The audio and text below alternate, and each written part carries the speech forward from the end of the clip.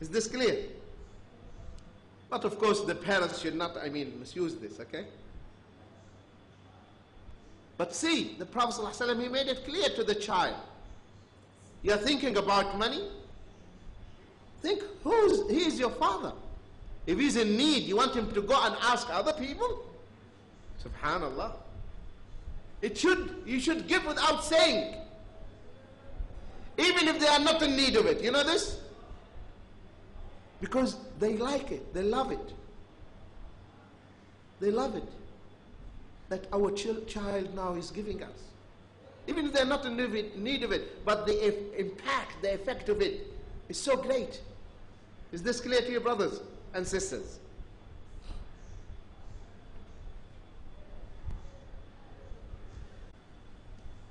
To put underline the word shay'a. You know the last word? وَاعْبُدُوا اللَّهَ وَلَا تُشْرِكُوا بِهِ شَيْئًا. You see the word shay'a? See it? Underline it.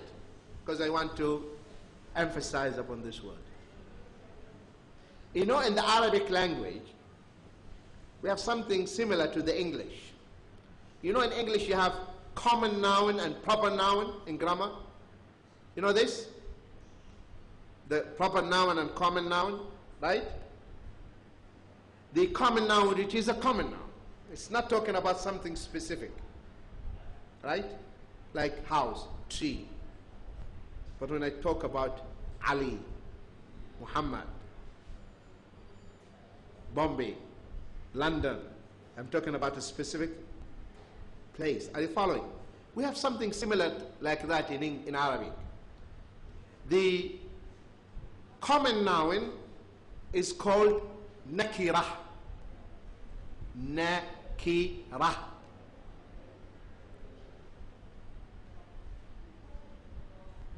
The proper noun is called ma'rifah.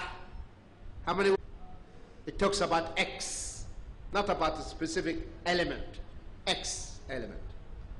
Ma'rifah, proper noun, specific.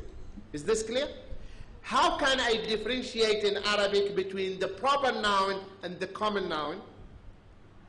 The common noun will accept al, alif lam.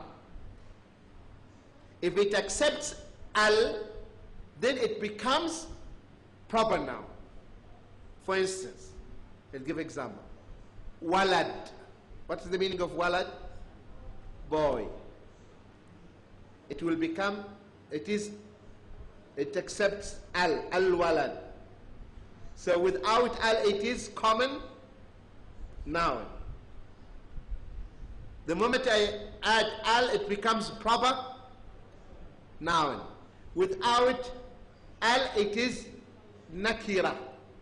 With al, it is ma, ma'rifa. Are you following? Is this clear? Uh, this is enough. Okay. Now, shay'an, is it nakira or ma'rifa? Can it accept al? Ash-shay, the thing. So it is nakira because it can accept what? Al, I can put alif lam before it. So it becomes a shay, the thing. So shay'an here means it is nakira, common noun. Anything which is a common noun talks about something general or specific. Common. The common noun. Is it general or specific?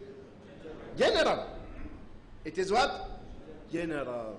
So now Allah says, وَاعْبُدُوا اللَّهَ وَلَا تُشْرِكُوا بِهِ شَيْئًا which means worship Allah and associate none, which means anyone, shay'a, anything, tree, stone, idols, moon, seas, stars, prophets, saints, anyone. Because it is nakira, shay'a. It is a common noun which denotes generality. It is a general so anything falls under it. So you cannot associate with Allah anything. That's why they translated none. You know the reason? Is this clear to you? Are you following, brothers and sisters? Sisters, are you following us? They said yes? Okay. So, when Allah says, وَلَا تُشْرِكُوا بِهِ شَيْئًا That means you cannot associate with Allah anyone. Anyone. Whether he's a prophet or messenger or the angels, anyone. You cannot associate with, with Allah. Only Allah. Is this clear? Also Allah says, uh, I, uh, do you want us to carry at the same pace? Is this okay? Okay. أولادكم من إملاق. الله إلا بالحق. ذلكم وصاكم به لعلكم تعقلون. ولا تقربوا مال اليتيم إلا بالتي هي أحسن حتى يبلغ أشده. وأوفوا الكيل والميزان بالقسط. لا نكلف نفسا إلا وسعها. وإذا قلتم فاعدلوا ولو كان ذا قربى وبعهد الله أوفوا. ذلكم وصاكم به لعلكم تذكرون.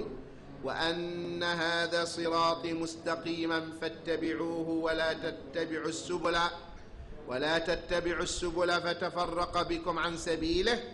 ذلكم وصاكم به لعلكم تتقون. The meaning Allah says Say, O Muhammad wasallam, come, I will recite what your Lord has prohibited you from joining not anything in worship with Him. Be good and dutiful to your parents. Kill not your children because of poverty. We provide sustenance for you and for them. Come not near to shameful sins, whether committed openly or secretly. And kill not anyone whom Allah has forbidden except for a just cause. This has he this he has commanded you that you may understand. And come not near to the orphan's property, except to improve it, until he or she attains the age of full strength. And give full measure and full weight with justice. We burden not any person but that which he can bear. And whenever you give your word, say the truth, even if a near relative is concerned, and fulfill the covenant of Allah. This is He commands you that you may remember. And verily, this is my state path, so follow it and follow not other paths, for they separate you away from His path. This is He has ordained for you that you may become al-muttaqun. Now, Allah subhanahu wa ta'ala here says, قل ta'alu. Say, come, come. And whenever you hear this ta'alu, pay attention. Pay what? Attention. Because Allah is going to address you. Say, come, ta'alu. Atlu ما حرم ربكم عليكم Come and I will inform you about the things that your Lord has prohibited for you. What are they?